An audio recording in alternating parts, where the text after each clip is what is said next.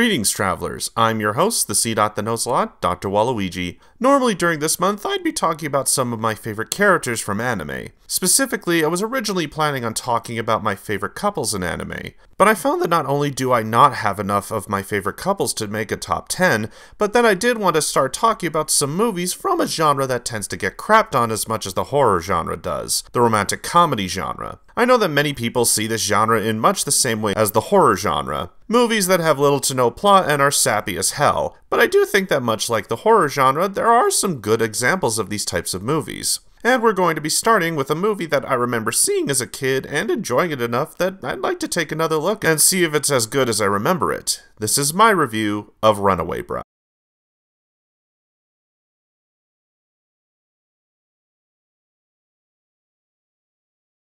Production history, with many rewrites and several casting changes until they got Richard Gere and Julia Roberts to play the main characters, as they more than likely chose them for their chemistry on another more popular rom com movie, Pretty Woman. Unfortunately, while the movie was a financial success, making back $309 million against a $20 million budget, critics did not feel the same way, as many called it generic and boring, and that Gere and Roberts' characters were dumbed down. Personally, I thought they were the best part of the movie, and I did like their relationship. But that doesn't mean that there aren't other issues in this movie, but we'll get to that when the time comes. For now, let's talk about the plot.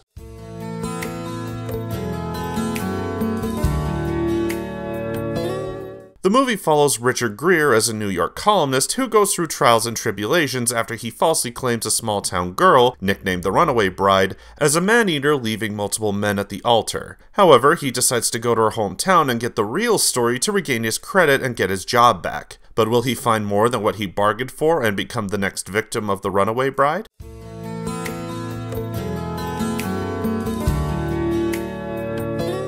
While I think that the critics have a point with the movie being a little dull, I don't agree with their opinions of the cast. I think that the cast is very good and that Roberts and Gere have great chemistry with each other and the people they interact with. Especially with the people of the town when Gere comes to try and show he's an understanding and charming guy, and they totally buy it. If anything, I think that most of the problems with the cast just comes from the movie's bad writing, which I'll get into after I talk about the positives.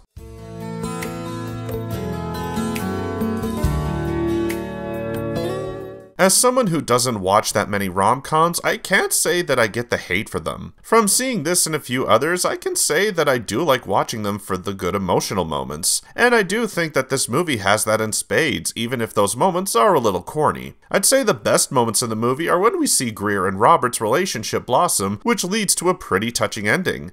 Even if that ending did feel a little dragged out.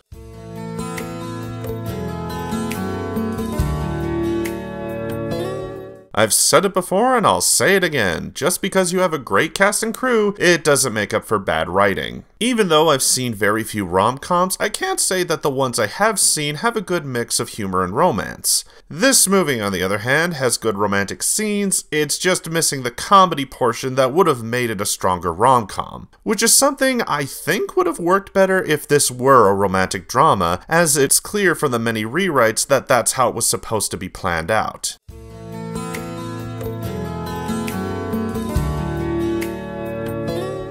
This being the first rom-com I've watched in a long time, it hasn't held up as much as I would have liked it to be. The writing is very bland, and it's obvious that the movie was supposed to be written one way, and we ended up getting the table scraps of that mess. But that doesn't mean every aspect of this movie is bad. I do like the cast and the setting of the town, and even the music is memorable to me as one of the songs is sung by one of my favorite singers, Eric Clapton. Overall, I give Runaway Bride a 5 out of 10. It's a very by the numbers rom com, but if you're looking for a place to start watching these types of movies, this is a good place to start. Thanks for watching, I'm Dr. Waluigi, and remember, don't judge a book by its cover, cause you'll never know what's inside.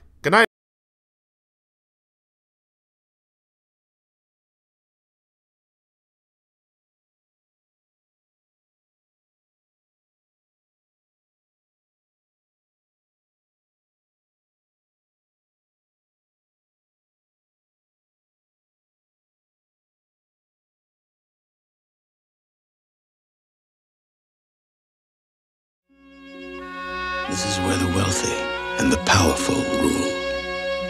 It is her world.